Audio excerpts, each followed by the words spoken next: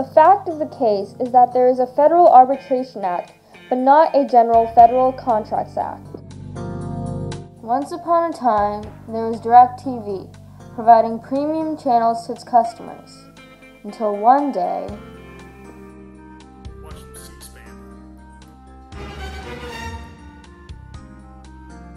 these customers wanted to cancel their subscription. DirecTV charged early termination fees, so the customers attempted to bring a class action lawsuit against DirecTV. Oh, the DirecTV service agreement provided for individual arbitration and specifically precluded class arbitration.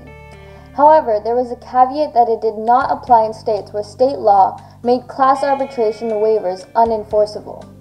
DirecTV's request to order two party arbitration was denied as California courts ruled that these were in fact unenforceable in California.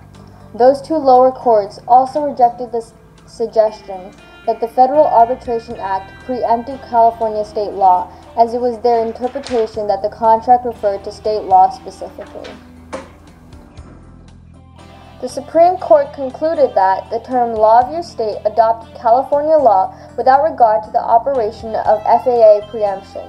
The court further found that the specific term law of your state controlled the more general provision in the customer agreement requiring that it be governed by the FAA.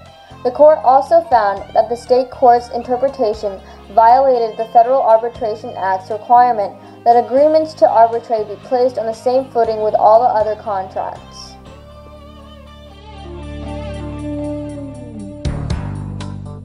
In conclusion, the efforts by courts to circumvent arbitration agreements will not be tolerated court will not intervene in matters of pure contract interpretation.